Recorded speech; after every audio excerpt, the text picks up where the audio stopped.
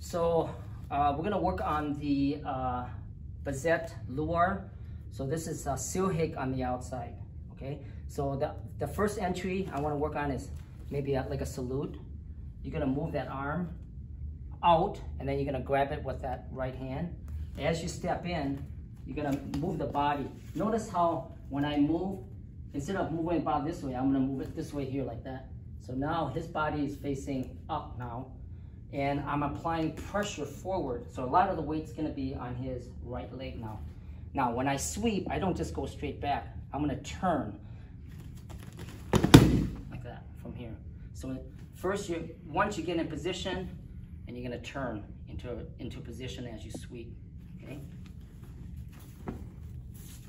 So slowly, uh, uh, salute, like that. Apply, you're gonna grab that wrist, this one shoots across here. Combatively, there's gonna be a shot going through this way here like that, okay?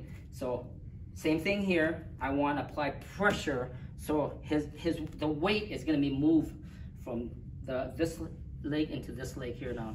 Now he's gonna be teeter-tottering on here, and all I do is turn my body and clothesline on top from here. Now you can do all the finishes from here, okay? Okay, another entry, and maybe you can do it, do a split entry from this position here, and then move it out. Boom. Come back. These are arm breaks are right there. Okay. Um, let's go to the right side, same thing. So, parry, salute. You know, just grab the wrist, transfer it over. And then as I move through, more pressure is gonna be toward his uh, left leg now. And then from this position, I'm gonna turn my body.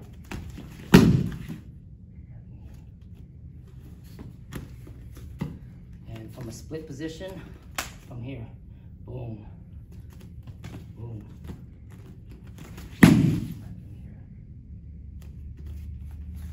Okay, some of the things to look for.